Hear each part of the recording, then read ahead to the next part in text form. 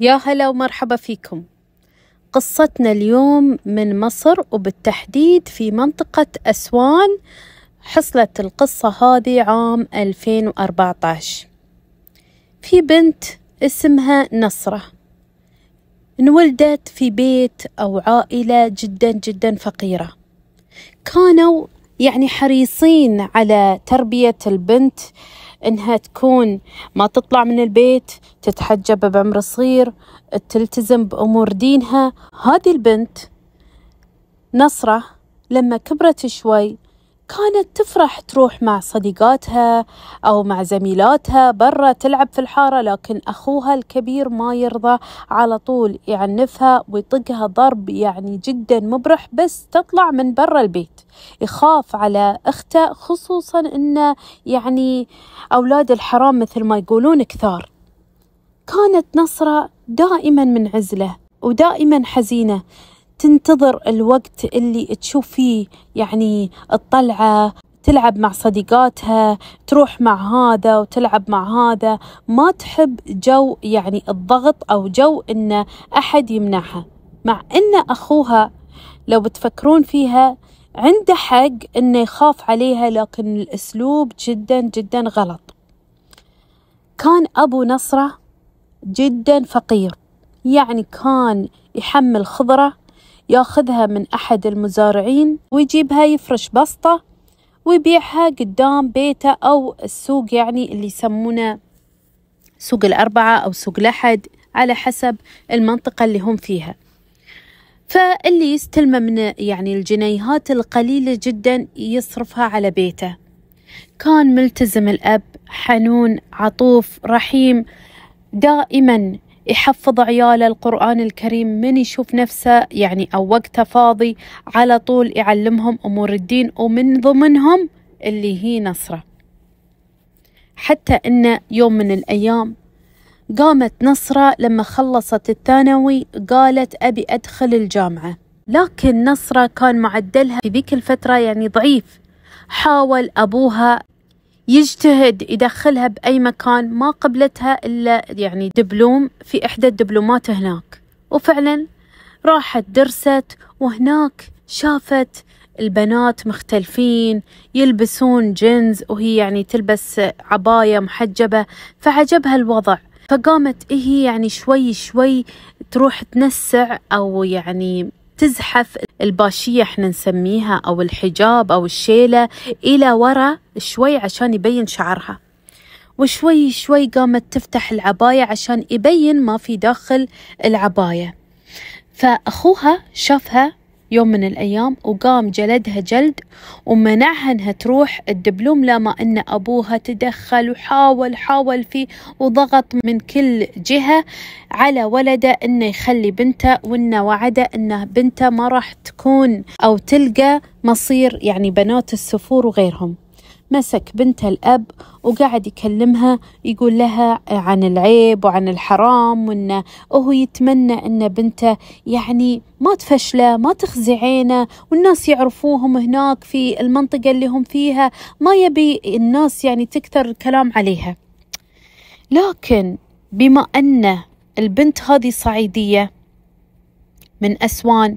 وإحنا نعرف أن الصعايدة جدا ملتزمين بالعادات والعرف وكذلك المبادئ الإسلامية الأصيلة.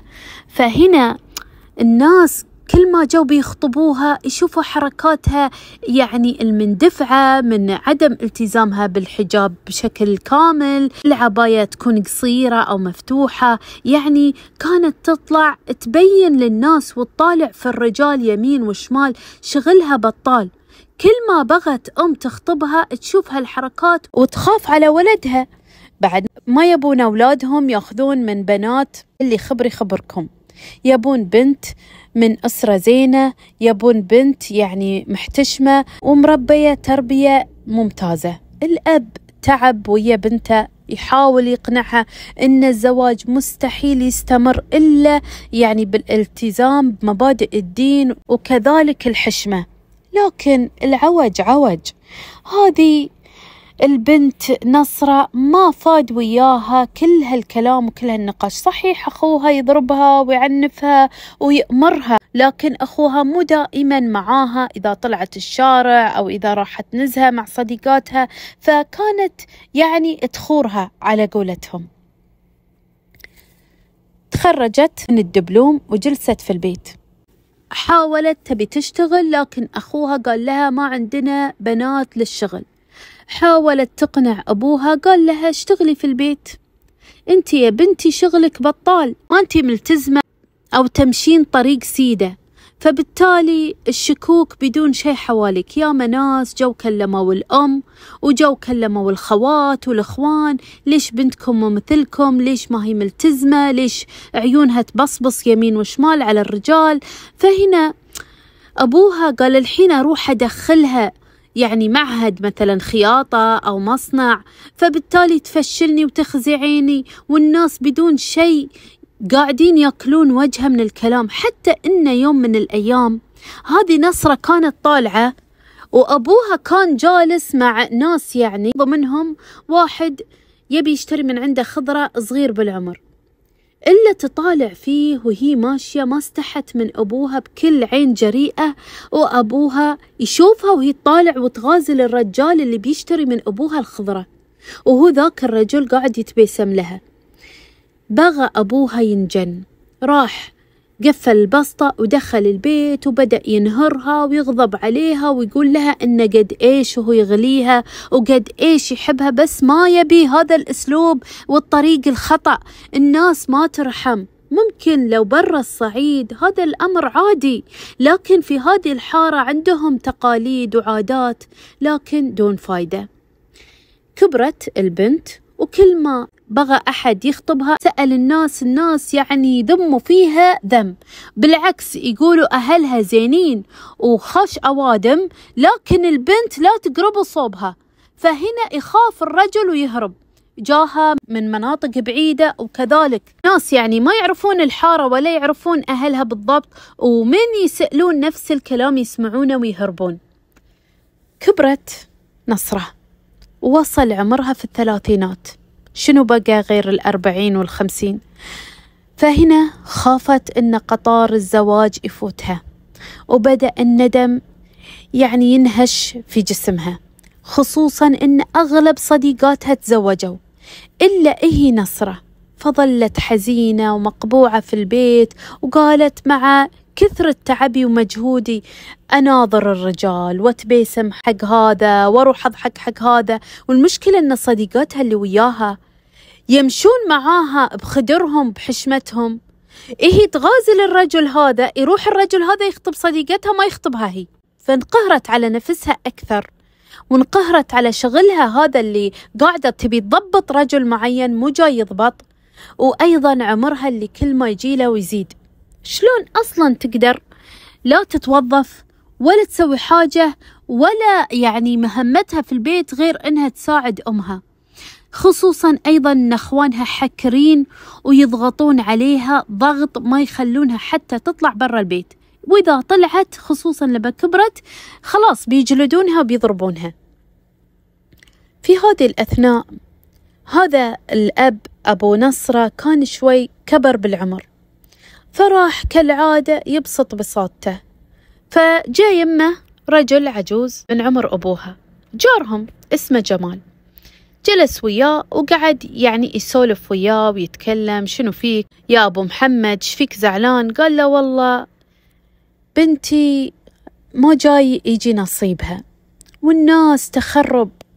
بنتي الآن في الثلاثينات من عمرها وما أدري متى يجي الحال وأشوفها عروس. فهنا شاف جمال قال له كم بنتك عمرها؟ قال له والله في الثلاثينات.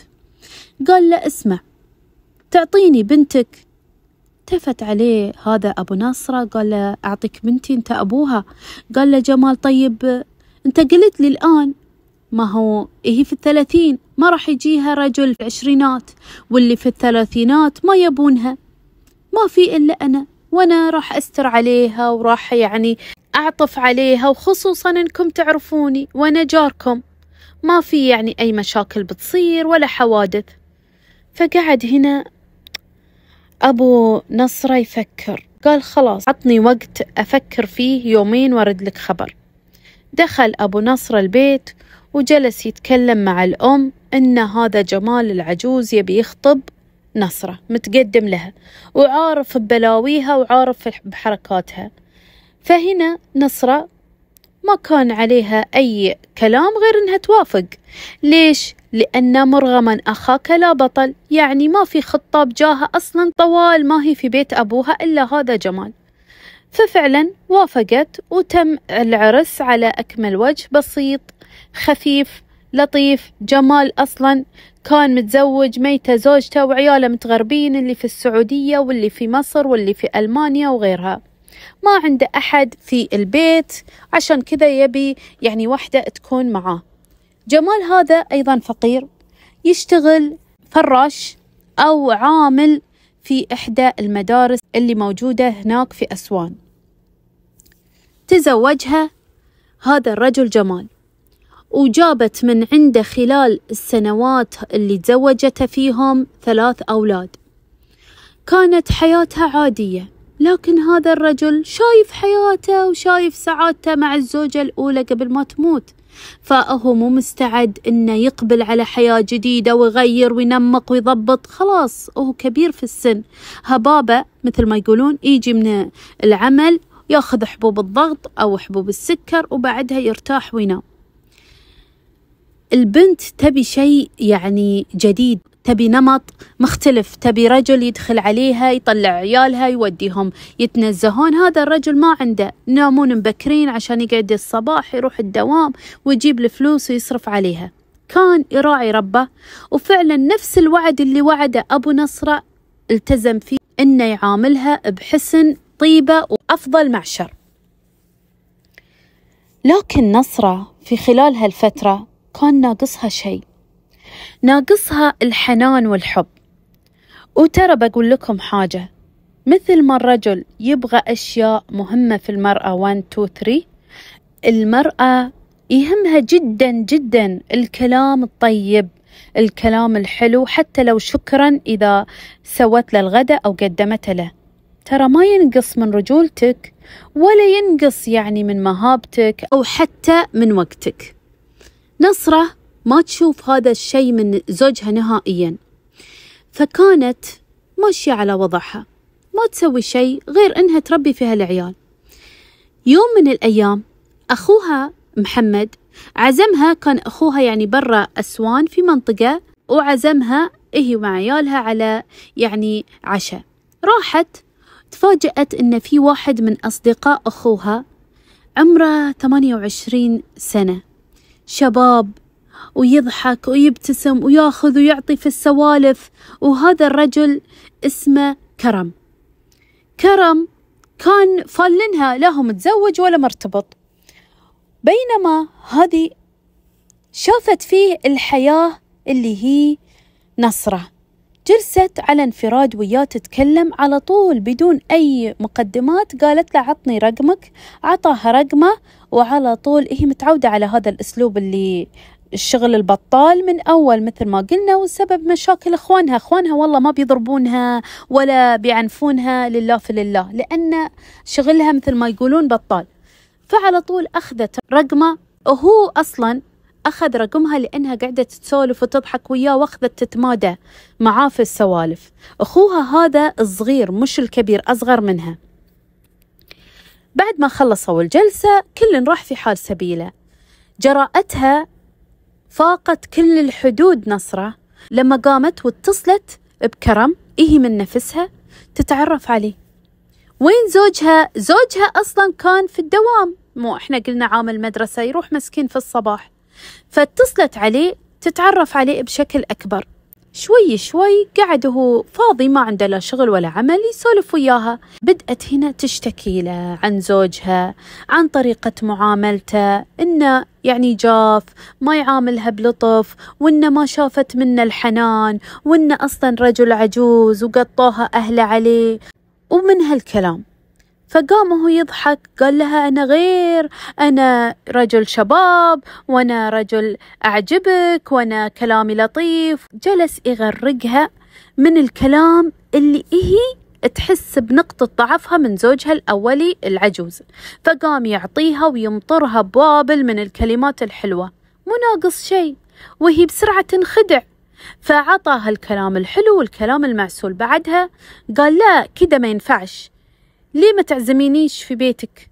قالت شلون؟ قال لها مو الحين انت تقولين إن زوجك كل يوم برا. إذا طلع راح الدوام وعيالك راحوا المدرسة عزميني وأنا أجي وأعلمك إيش الكلام الحلو شلون أقوله. قالت له طيب. وفعلا في اليوم الثاني أصلا علاقتهم ما أخذت لها أسبوع. قامت وعزمته في بيتها على شموع حمر على ورد حمر وعلى عصيرات وكيك وحلويات كل هذا حق هذا الرجل الغريب الأجنبي عليها. دخلت البيت وجلس وصار هذا اليوم يوم أحمر بالنسبة لهم ودخلوا في غرفة الزوجية زوجها المسكين المخدوع اللي في المدرسة يشتغل. دخلوا وعملوا علاقة غير شرعية مدة ساعتين وما حد درى فيهم نهائياً. ومن ثم طلع ووعدته هي أن هذا الأمر يتكرر مرة ثانية. فعلا بدأ يتكرر في أكثر من مرة وبدأ هذا العشيق اللعوب إنه يتمادى بطلباته. قال لها طيب أنا ودي إني أسكن وياك في البيت. قالت له طيب شلون؟ قال لها فكري فيها يا نصرة. أنا مستحيل. إزاي؟ جوزك جالس معاكي وأنا برا. قالت لا اصبر خلني أفكر. وأقالبها يمين وشمال وأعرف شلون أديرها عدل. في يوم من الأيام فعلا خططت ودبرت وحاكتها صح. وما على هذا العشيق كرم إلا اللي هو التنفيذ. جابته في البيت ودخلته على زوجها. إي نعم دخلت العشيق على زوجها. دخلته بعباية وبنقاب ومباين عليه ولا حاجة. دخل وقالت له شوف يا زوجي هذه المرأة صديقتي وهذه خرسة ما تعرف تتكلم ولا تسمع. وهذه صديقتي من الطفولة. جاية متهاوشة مع زوجها وأهلها مو في هذه المنطقة يعني رحلوا إلى منطقة بعيدة. فعشان مسكينة أبي أضيفها مدة عشرة خمسة عشر يوم عشان لما يعني تتراضى أو تصطلح مع زوجها. طبعا هذا العجوز قال خير إن شاء الله. دخلته غرفة الضيوف. قفلت عليه شنو تسوي؟ تروح تقدم حق زوجها الأكل من هنا وتقوم تقدم الحلويات وأفضل وأطيب الأكل والعصيرات حق عشيقها في الغرفة الثانية. طيب بتقولون وين بتنقسم نصين؟ تقعد مع مين؟ يعني لا محالة راح تقعد مع عشيقها. وتقول له صديقتي مسكينة حزينة أطيب خاطرها. وهو مصدق المسكين ونايم على ودانه هذا الرجل العجوز ما يدري وين الله قاطنه.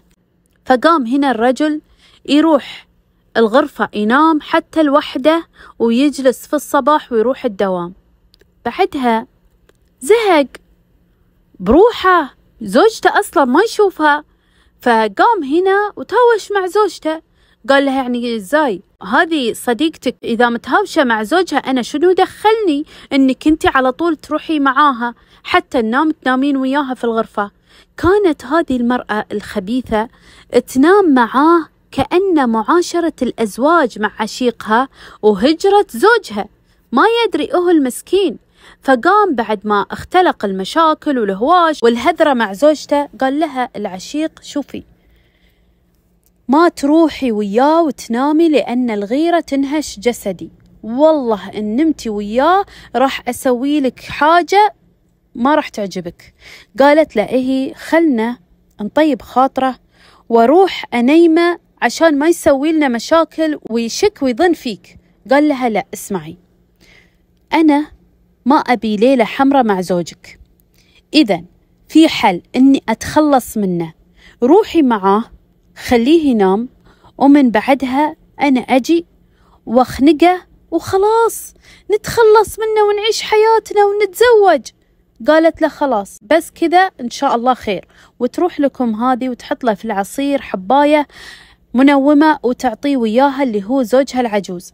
نام هذا الرجل في الغرفة وعلى طول يلا يا عشيقي تعال الغرفة الثانية وقوم بواجبك. دخل هذا العشيق كرم وبكل قوته يضغط بأيادية في حلق هذا الرجل اللي مسكين خادر نومه وعلى طول لما فاضت روحه ومات وهو ما يدري شنو مهببة زوجته.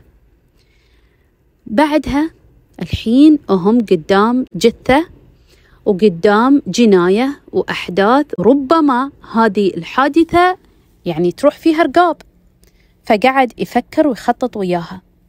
قالت له شنو الحل؟ قال لها الحل بسيط وبديهي. نقوم الحين نلفه في شوال أو سجادة. عادي سجادة مطوية. ونقوم ونرميه قدام المدرسة. على أساس أحد تخلص منه هناك عشان نبعد الشبهات عنه.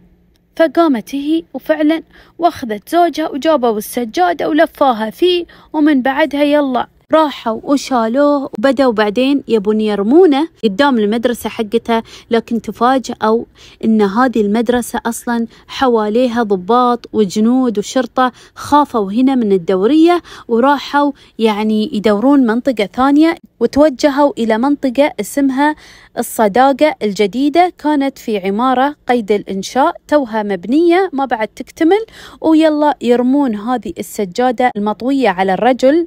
العجوز. جمال ويرمونها عند هذه العمارة ويفرون هاربين في انصاف الليالي ما حد شافهم ولا حد درى عنهم. جات البيت ولا كأن في شيء صار. وهي عارفة أن ما حد راح يسأل عنه كأنه مقطوع من شجرة. عياله مشغولين في حياتهم. في هذه الأثناء ما كانت تدري هذه المرأة أن بسرعة أصلا الناس بيلتقطون هذا الرجل. وفعلا بدأ اللي يشتغلون في العمارة يشوفون هذه الزولية يبون ياخذونها خلص مرمية في الشارع وشكلها جديد. ففتحوا هلا يشوفون الجسد هذا جسد جمال وبسرعة بلغوا الشرطة.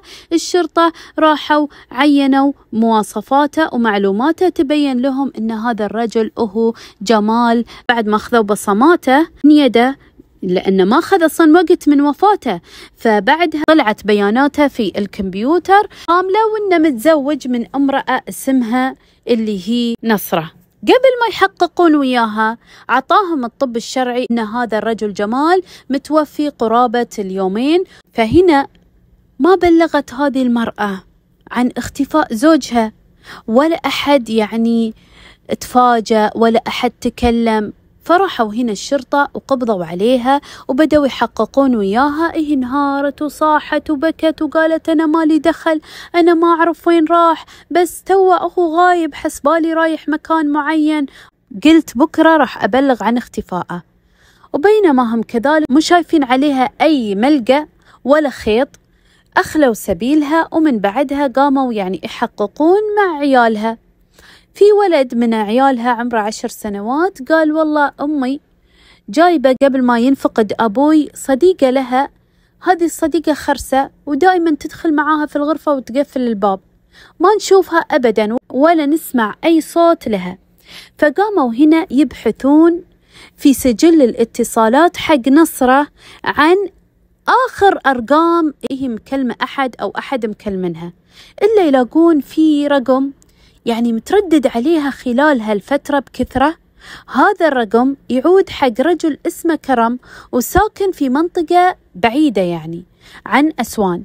فقاموا على طول يبون يشوفونه يبون يلقون القبض عليه يعرفون شنو علاقته مع هذه نصرة. لكنه هرب إلى منطقة ثانية وبينما هم يبحثون يبحثون قدروا يوصلوا له وجابوه إلى شرطة أسوان وبدأوا يحققون وياه وهناك وهو قال أنا مالي دخل وأنا ما أدري عنها وفعلا هي اللي قامت وهي اللي خنقت زوجها وأنا كانت بيني وبينها فعلا علاقة عاطفية غرامية. يعني هذا الرجل كب العشاء. قال لهم أنا مالي علاقة لا حب ولا غرام وأنا أصلا ما أحبها مستحيل أتزوجها. بس أنا صراحة شفت فيها رغبتي وشهوتي أقضيها بما أنها هي مباح وفارضة نفسها علي. ليش ما أضرب عصفورين بحجر واحد على كلامه؟ فقاموا هنا الشرطة وقبضوا عليها وجابوها وهي منهارة وتبكي لما سمعت هذا الرجل شلون يقول عنها. بغت تنجن قالت أصلا سجلات المكالمات اللي وصلتوا لها يعني تقصد الشرطة أن هو هذا الرجل كرم متصل عليها يقول لها انتبهي وسوي حالك تصيحين.